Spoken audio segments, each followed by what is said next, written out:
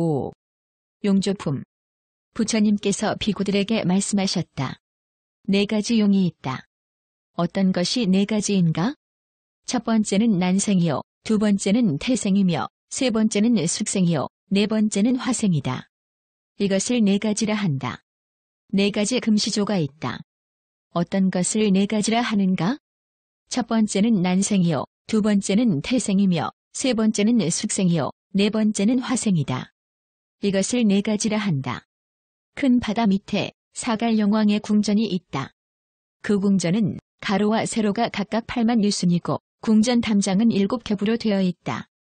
7겹의 난간, 7겹의 그물, 7겹의 가로수가 빙 둘러 장엄하게 장식하고 있는데 모두 칠보로 되어 있으며 나아가 무수한 온갖 새가 서로 화답하며 지저귀는 것까지의 내용은 또한 앞에서와 같다. 수미산 왕과 가타라산 사이에 난다와 바난다 두 용왕의 궁전이 있다. 두 궁전은 가로와 세로가 각각 6천 유순이고 궁전 담장은 7겹으로 되어 있다. 7겹의 난간, 7겹의 그물, 7겹의 가로수가 빙 둘러 장식하였는데 모두 칠보로 되어 있으며 나아가 무수한 온갖 새가 서로 화답하며 지저귀는 것까지의 내용은 또한 앞에서와 같다. 대해 북쪽 언덕에 한 그루의 큰 나무가 있는데 그 이름은 구라선마라이고 용왕과 금시조도 이 나무에 함께 살고 있다. 그 나무 밑동의 둘레는 7유순이고 높이는 100유순이며 가지와 잎은 사방으로 50유순이나 퍼져 있다. 이 큰 나무 동쪽에 난생 용왕의 궁전과 난생 금시조의 궁전이 있다.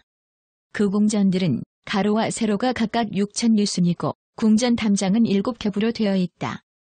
7겹의 난간, 7겹의 그물, 7겹의 가로수가 빙둘러 장식하였는데 모두 칠보로 되어 있으며 나아가 무수한 온갖 새가 서로 화답하며 지저귀는 것까지의 내용은 또한 앞에서와 같다. 이 구라선 마라 나무의 남쪽에 태생 용왕의 궁전과 태생 금시조의 궁전이 있다. 그 궁전들은 가로와 세로가 각각 6천 유순이고 궁전 담장은 7겹으로 되어 있다. 7겹의 난간, 7겹의 그물, 7겹의 가로수가 빙 둘러 장식하였는데 모두 칠보로 되어 있으며 나아가 무수한 온갖 새가 서로 화답하며 지저귀는 것까지의 내용은 또한 앞에서와 같다. 구라선마라 나무의 서쪽에는 습생 용왕의 궁전과 습생 금시조의 궁전이 있다. 그 궁전은 가로와 세로가 각각 6천 유순이고 궁전 담장은 7겹으로 되어 있다. 7겹의 난간, 7겹의 그물, 7겹의 가로수가 빙 둘러 장식하였는데 모두 칠보로 되어 있으며 나아가 무수한 온갖 새가 서로 화답하며 지저귀는 것까지의 내용은 또한 앞에서와 같다. 구라선마라 나무의 북쪽에는 화생 용왕의 궁전과 화생 금시조의 궁전이 있다. 그 궁전은 가로와 세로가 각각 6천 유순이고 궁전 담장은 7겹으로 되어 있다. 7겹의 난간, 7겹의 그물, 7겹의 가로수가 빙 둘러 장식하였는데 모두 칠보로 되어 있다. 나아가 무수한 온갖 새가 서로 화답하며 지저귀는 것까지의 내용은 또한 앞에서와 같다. 난생의 금시조가 용을 잡아먹으려고 할 때에는 구라선마라 나무 동쪽 하지에서 날아 내려와 날개로 바닷물을 치면 바닷물은 양쪽으로 200유순이나 갈라진다. 그러면 난생의 용을 마음대로 잡아먹는다. 그러나 태생, 습생, 화생의 용들은 잡아먹을 수 없다. 태생의 금시조가 난생의 용을 잡아먹으려고 할 때에는 나무의 동쪽 가지에서 날아 내려와 날개로 바닷물을 치면 바닷물은 양쪽으로 200유순이나 갈라진다. 그러면 난생의 용을 마음대로 잡아먹는다. 태생의 금시조가 태생의 용을 잡아먹으려고 할 때에는 나무의 남쪽 가지에서 날아 내려와 날개로 바닷물을 치면 바닷물은 양쪽으로 400유순이나 갈라진다. 그러면 태생의 용을 마음대로 잡아먹는다. 그러나 습생과 화생의 용들은 잡아먹지 못한다. 습생의 금시조가 난생의 용을 잡아먹으려고 할 때에는 나무의 동쪽 가지에서 날아 내려와 날개로 바닷물을 치면 바닷물은 양쪽으로 200유순이나 갈라진다. 그러면 난생의 용을 마음대로 잡아먹는다. 습생의 금시조가 태생의 용을 잡아먹으려고 할 때에는 나무의 남쪽 가지에서 날아 내려와 날개로 바닷물을 치면 바닷물은 양쪽으로 400유순이나 갈라진다. 그러면 용을 마음대로 잡아먹는다. 습생의 금시조가 습생의 용을 잡아먹으려고 할 때에는 나무의 서쪽 가지에서 날아 내려와 날개로 바닷물을 치면 바닷물은 양쪽으로 800뉴슨이나 갈라지다. 그러면 습생의 용을 마음대로 잡아먹는다. 그러나 화생의 용은 잡아먹지 못한다.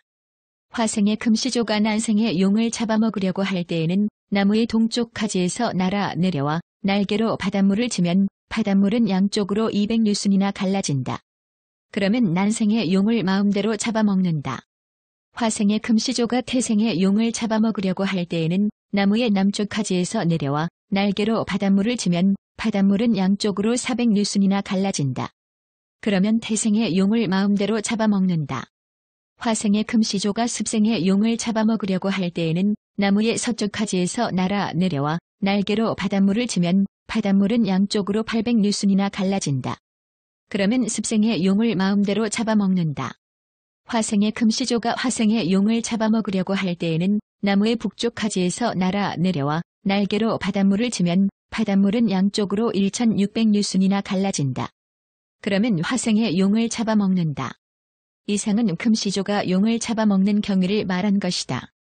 또 금시조도 잡아먹지 못하는 큰 용이 있다. 어떤 용이 그런 것들인가?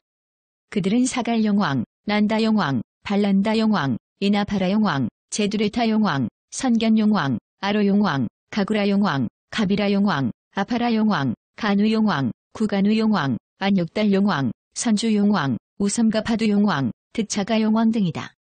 이 모든 큰 용왕들은 다 금시조에게 잡아먹히지 않는다.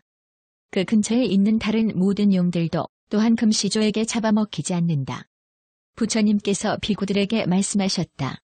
만일 어떤 중생이 용의 계를 받들어 가지고 마음이 용을 향하고 용이 법을 갖추면 곧 용으로 태어난다. 만일 어떤 중생이 금시조의 계를 받들어 가지고 마음이 금시조를 향하고 그 법을 갖추면 곧 금시조로 태어나리라. 어떤 중생이 토요의 계를 가지고 마음이 토요를 향하고 그 법을 갖추면 토요 가운데 떨어지리라. 만일 어떤 중생이 개의 계를 받들어 가지거나 혹은 소의 계를 가지며 혹은 사슴의 계를 가지거나 혹은 벙어리의 계를 가지며 혹은 마니바다의 계를 가지거나 혹은 불의 계를 가지며 혹은 달의 계를 가지거나 혹은 해의 계를 가지며 혹은 물의 계를 가지거나 혹은 불을 공양하는 법을 가지며 혹은 고행의 더러운 법을 가지고서 이렇게 생각한다고 하자. 나는 이 벙어리의 법만이 바다의 법풀의 법해와 달의 법물의 법풀을 공양하는 법과 모든 고행의 법을 지녔다. 나는 이 공덕을 가짐으로써 하늘에 나려고 한다. 이런 생각을 한다면 그것은 곧 삿된 소견이다. 부처님께서 말씀하셨다. 나는 이런 삿된 소견을 가진 사람은 반드시 두 곳에 태어난다고 말하리니 지옥에 태어나기도 하고 혹은 축생에 떨어지기도 한다. 혹 어떤 사문 바라무는 이러한 주장과 이러한 소견을 가지고 있다. 나와 세간은 유상한 것이다. 이것이 진실이고 다른 것은 거짓이다. 나와 세간은 무상한 것이다. 이것은 진실이고 다른 것은 거짓이다. 나와 세간은 유상하기도 하고 무상하기도 하다. 이것이 진실이고 다른 것은 거짓이다. 나와 세간은 유상도 아니요 무상도 아니다. 이것이 진실이고 다른 것은 거짓이다. 나와 세간은 유변이다. 이것이 진실이고 다른 것은 거짓이다. 나와 세간은 무변이다. 이것이 진실이고 다른 것은 거짓이다. 나와 세간은 유변이면서 무변이다. 이것이 진실이고 다른 것은 거짓이다. 나와 세간은 유변도 아니요 무변도 아니다. 이것이 진실이고 다른 것은 거짓이다. 이 목숨이 곧 이 몸이다. 이것이 진실이고 다른 것은 거짓이다. 목숨이 다르고 몸이 다르다. 이것이 진실이고 다른 것은 거짓이다. 목숨은 있는 것도 아니고 목숨은 없는 것도 아니다. 이것이 진실이고 다른 것은 거짓이다. 목숨도 없고 몸도 없다. 이것이 진실이고 다른 것은 거짓이다. 어떤 사람은 말한다. 그는 죽어도 여전한 것이 있다. 이것이 진실이고 다른 것은 거짓이다. 어떤 사람은 말한다. 그가 죽으면 여전한 것은 없다. 이것이 진실이고 다른 것은 거짓이다. 혹은 말한다. 그가 죽으면 여전한 것은 있기도 하고 없기도 하다. 이것이 진실이고 다른 것은 거짓이다. 또 말한다. 그가 죽으면 여전한 것은 있는 것도 아니고 없는 것도 아니다. 이것이 진실이고 다른 것은 거짓이다. 저 산문 바라문이 만일 이러한 주장과 이러한 소견을 가지고 세상은 항상 한 것이다. 이것이 진실이고 다른 것은 거짓이다라고 말한다면 그의 마음에는 악견, 명견, 신견, 세간견이 있는 것이다. 그러므로 그는 나와 세간은 유상한 것이다라고 이렇게 말하는 것이다. 저무상한 것이라고 말하는 자의 마음에도 악견, 명견, 신견, 세간견이 있다. 그러므로 그는 나와 세간은 무상한 것이다라고 말하는 것이다. 저 유상하기도 하고 무상하기도 하다고 말하는 자의 마음에도 악견, 명견, 신견, 세간견이 있다. 그러므로 그는 세간은 유상하기도 하고 무상하기도 하다고 말하는 것이다. 저 유상도 아니요 무상도 아니다라고 말하는 자의 마음에도 악견, 명견, 신견, 세간견이 있다. 그러므로 나와 세간은 유상도 아니요 무상도 아니다라고 말하는 것이다. 전하와 세간은 유변하다고 말하는 자의 마음에도 악견, 명견, 신견, 세간견이 있다. 그러므로 목숨은 유변이요, 몸도 유변이며 세간도 유변이다라고 말하는 것이다. 처음 수태된 때로부터 무덤에 이르기까지 사대로 이루어진 몸뚱이는 이와 같이 전전하여 마지막으로 칠생에 이르러서야 신명의 행이 다하여 나는 청장취에 들어간다. 그러므로 그는 나는 유변이다라고 말한다. 전하와 세간은 무변이다라고 말하는 자의 마음에도 악견, 명견, 신견, 세간견이 있다. 그러므로 목숨은 무변이요, 몸도 무변이며 세간도 무변이다라고 말한다. 처음 태를 받은 때로부터 무덤에 이르기까지 네 가지 요소로 이루어진 몸뚱이는 이와 같이 전전하여 마지막으로 칠생에 이르러서야 신명의 행이 다하여 나는 청장취에 들어간다. 그러므로 나와 세간은 무변이다라고 말한다. 그가 이 세간은 유변이기도 하고 무변이기도 하다라고 말하는 것은 그의 마음에 악견, 명견, 신견, 세간견이 있기 때문이다. 그러므로 목숨은 유변이면서 무변이다라고 말한다. 처음 태를 받은 때로부터 무덤에 이르기까지의 요소로 이루어진 몸뚱이는 이와 같이 전전하여 마지막으로 칠생에 이르러서야 신명의 행이 다하여 나는 청장취에 들어간다. 그러므로 나는 유변도 아니요 무변도 아니다라고 말한다. 그가 이 목숨은 바로 몸이다라고 말하는 것은 이 몸에 대해서도 명견이 있다고 보고 다른 몸에 대해서도 명견이 있다고 보기 때문이다. 그러므로 이 몸은 곧 목숨이다라고 말한다. 목숨이 다르고 몸이 다르다라고 하는 것은 이 몸에 대해서는 명견이 실제한다는 소견을 가지고 있지만 다른 몸에 대해서만 명견이 없다고 여기기 때문이다. 그러므로 목숨이 다르고 몸이 다르다고 하는 것이다. 그가 몸과 목숨은 있는 것도 아니요 없는 것도 아니다라고 말하는 것은 이 몸에 대해서는 목숨이 있다는 견해를 가지지 않고 다른 몸에 대해서는 목숨이 있다는 견해를 가지고 있기 때문이다. 그러므로 있는 것도 아니요 없는 것도 아니다라고 하는 것이다. 그가 신명은 없다라고 말하는 것은 이 몸에 대해서도 목숨이 있다는 견해가 없고 다른 몸에 대해서도 목숨이 있다는 견해가 없기 때문이다. 그러므로 목숨도 없고 몸도 없다고 하는 것이다. 그가 그는 죽어도 여전한 것이 있다고 말하는 것은 그 사람이 현세에도 신명이 있고 후세에도 또한 신명이 있어 돌아다닌다고 보기 때문이다. 그러므로 그는 죽어도 여전한 것이 있다고 하는 것이다.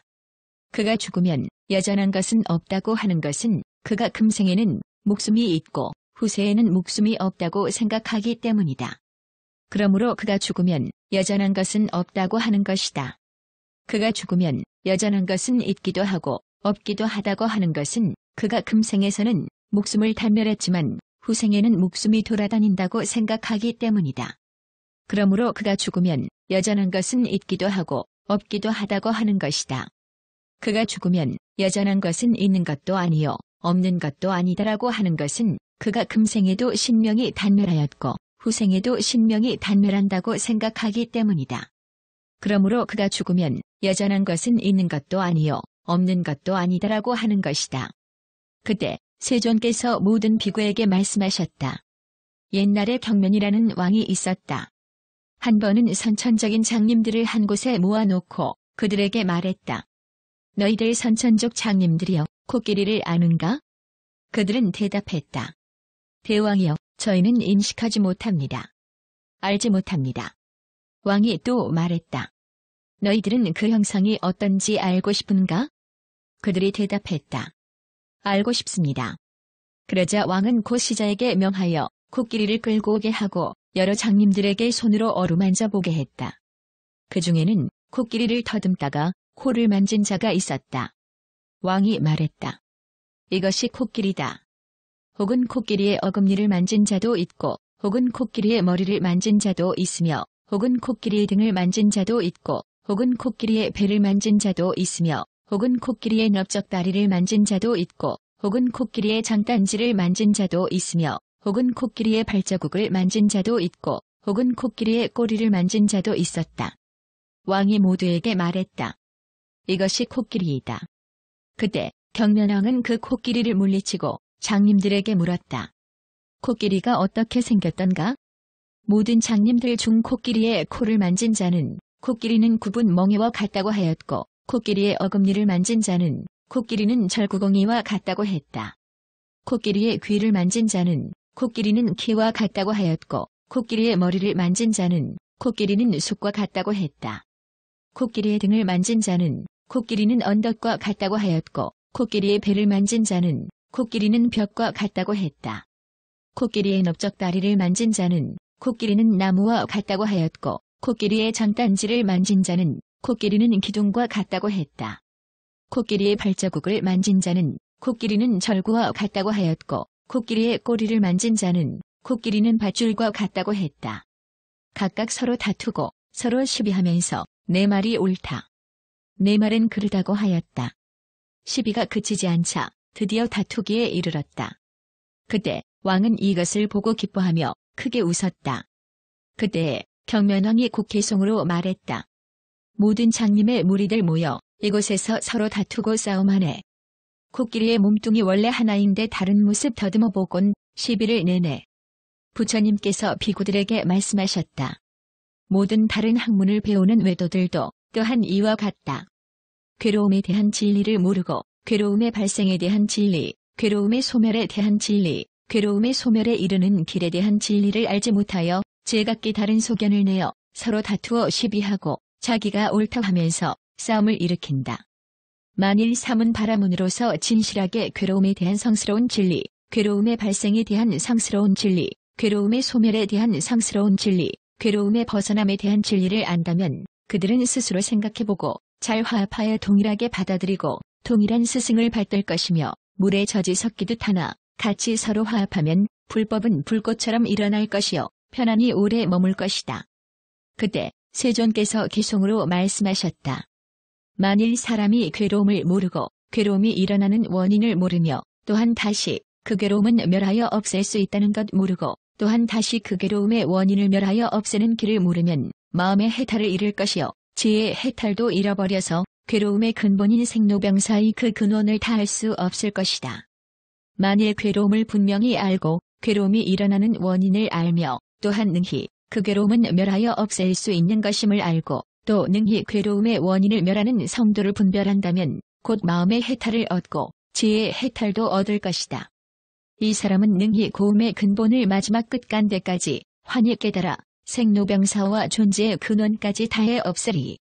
모든 비구들아, 그러므로 너희들은 마땅히 부지런히 방편을 세워 괴로움의 성스러운 진리, 괴로움의 발생에 대한 상스러운 진리, 괴로움의 소멸에 대한 상스러운 진리, 괴로움의 벗어남에 대한 진리를 생각해 보아라.